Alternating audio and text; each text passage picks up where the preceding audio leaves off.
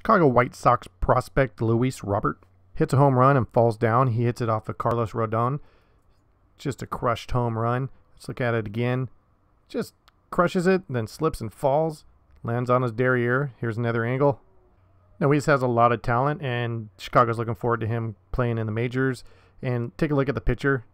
He's watching it go out, and then he looks again like he lost it or something. He's like, Where's it at? There it is. And then the catcher is even looking at Luis like, You okay, buddy? What's going on down there? Take another look. Slips when he's leaving the box. Timber. Still a home run. Luis Robert.